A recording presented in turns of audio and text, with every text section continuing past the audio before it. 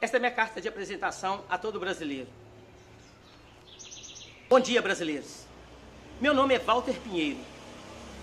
Hoje digo que sou e serei candidato a presidente da República em 2022.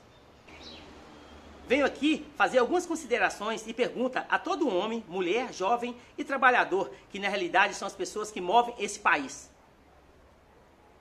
Sabemos que a população trabalhadora vive à margem da dignidade humana e é constituída de 80% de pobres, negros e miseráveis. Sabemos também que somos condicionados a viver sem esperança, direito e a falta de dignidade, imposições feitas por quem deveria nos propor mais qualidade de vida.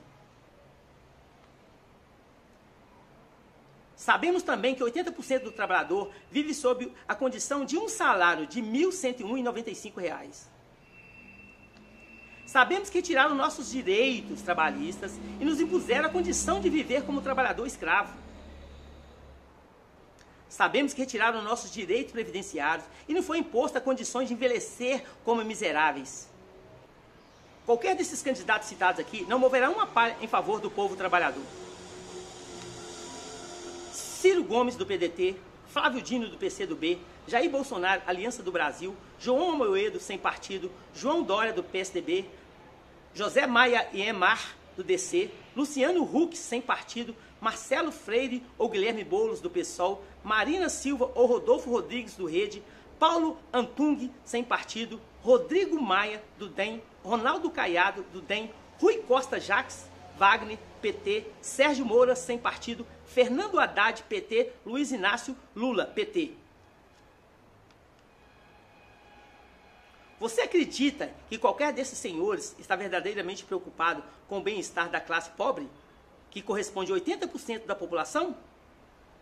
Eu tenho certeza que não. E você, o que pensa? Acredito que todos sabem que só nós, o povo, pode mudar esse quadro. A questão aqui é o seguinte: vocês querem, na realidade, mudanças? Vocês querem mais qualidade de vida? Vocês estão satisfeitos de viver assim? Vocês acreditam que precisa de um político na presidência para que o povo seja respeitado? Você acredita que um presidente que seja empresário, economista, juiz, militar, detentor de patrimônio elevado, se importa verdadeiramente com o povo? Você acredita que estes homens se preocupam com seus direitos, sua dignidade ou se terá o que comer amanhã? Alguém já parou para pensar por que 80% da população tem que viver condicionada à miséria, enquanto 20% são privilegiados e exploram 80% do resto do povo? Bom, eu acredito piamente que não.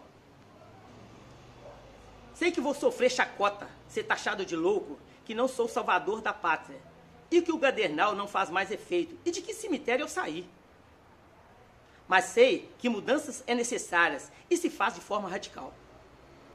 Então, se queremos mais dignidade, respeito, educação, saúde, inclusão social, trabalho e todos os nossos direitos restabelecidos, então é chegada a hora de parar e pensar. Quero dizer algumas palavras sobre a minha pessoa. Meu nome é Walter Pinheiro, tenho 58 anos, filhos de pais analfabetos, sou assalariado, não tenho patrimônio, não sou empresário, não sou político, me formei em direito com 56 anos, tenho trabalho fixo e tenho fé de que o povo não seja tão cego. Aí pergunto a vocês: qual o benefício que uma pessoa como eu, que viveu e vive essa falta de dignidade de 80% da população, poderia ter em ser presidente se não for para ajudar? Economistas, matemáticos, financistas, empresários, administradores, políticos, ladrões, essas pessoas cultas já vêm ferrando a vida do povo por décadas, administrando o Brasil em causa própria.